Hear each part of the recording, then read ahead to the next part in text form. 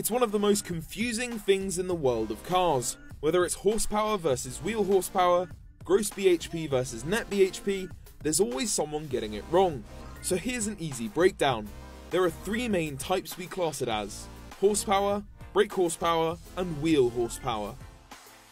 Horsepower or indicated horsepower is simply a theoretical calculation of the maximum amount of work your engine can do without anything like friction affecting it. A device called an engine indicator measures the theoretical power by creating a plot between the pressure and volume curves inside the cylinders.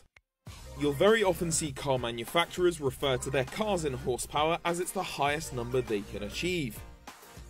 Brake horsepower is the actual power measured at the crankshaft, including the losses caused by engine friction, but before any losses of the drivetrain and gearbox.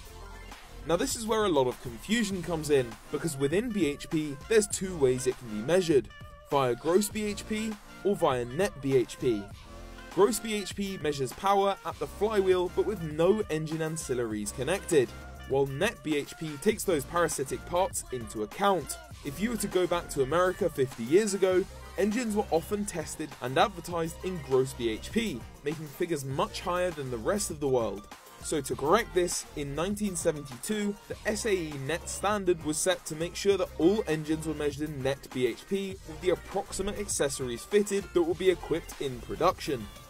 As you can guess then, effective horsepower, commonly called wheel horsepower, is measured at the wheels taking into account all engine and drivetrain losses along the way. This is usually done by running the car on a dynamometer or rolling road. So now you know what you're looking at between horsepower, brake horsepower and wheel horsepower.